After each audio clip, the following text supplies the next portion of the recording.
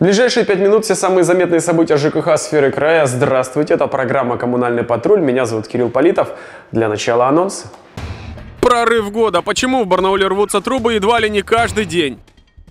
Оперативная очистка. Как долго дорожные службы пешеходный переход от снега спасали? Жилье новое, долги старые. Почему жительница Бийска отказывается платить по счетам?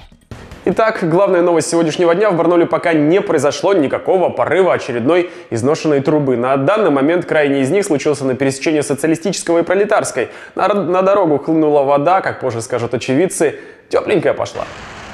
Полотно сразу же покрылось приличной коркой льда. На место выехали мастера, которые устранили порыв. Другие тут же принялись бороться с последствиями. Улицу очистили и засыпали песком. На этом история закончилась. Это ЧП стало вновь поводом для шуток в глобальной сети. Сотни комментариев, лайков и репостов. Все из-за того, что этот прорыв уже стал неизвестно каким по счету с начала зимы. Последнее время так и вовсе трубы рвутся чуть ли не каждый день. Горожане, опять же, в шутку стали делать ставки на то, где произойдет новое коммунальное ЧП. Увеличенное количество порывов а, происходит из-за того, что, в принципе, увеличивается уже износ, потому что а, многим сетям от 30 до 50 лет бывает, да, а, всему приходит свой срок.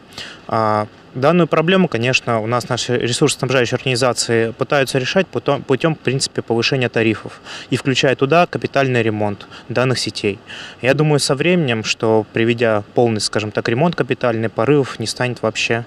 Ну, а если вы заметили, в принципе, порыв, то необходимо об этом, а, естественно, доложить в администрацию района, а, после чего та уже передаст ресурсоснабжающей организации данную информацию, и те уже отреагируют. Отреагировали на этой неделе дорожные службы Барнаула. Специалисты исправили свою же собственную недоработку, правда, после того, как эта проблема была показана в одном из наших прошлых программ. Речь идет про так называемый нелепый пешеходный переход.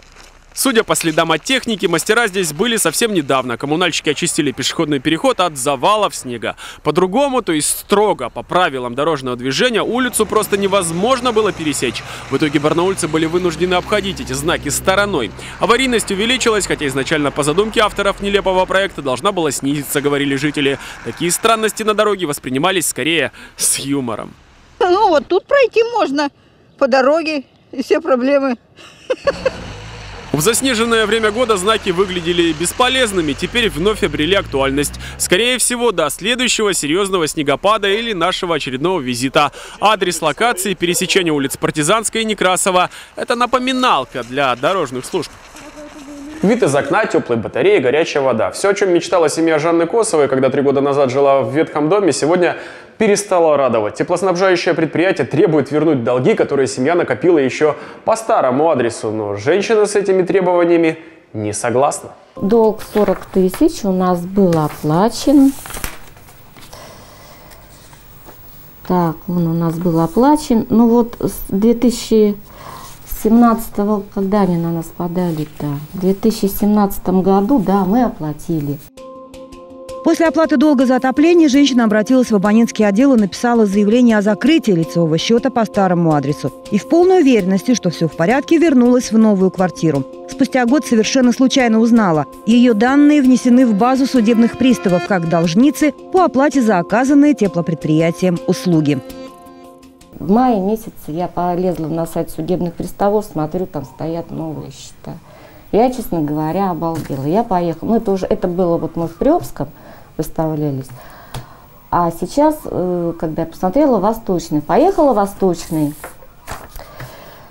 В Восточном мне выдали вот такой исполнительный лист и судебное решение – я прочитала, вот видите, вы всем просто в солидарном порядке со старшего сына, с мужа и с меня. Ну, с каждого, с кого успеют там выдернуть эти, снять.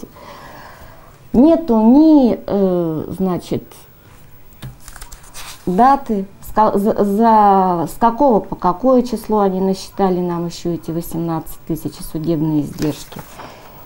На этом все. Полный выпуск этого репортажа ищите в глобальной сети вот по этой ссылке. Напоминаю, обращение с жалобами на коммунальные службы или видеоролики по-прежнему принимаем по телефону Барнаули 722 301. Самое актуальное обязательно покажем в ближайшем выпуске коммунального патруля. До новых встреч!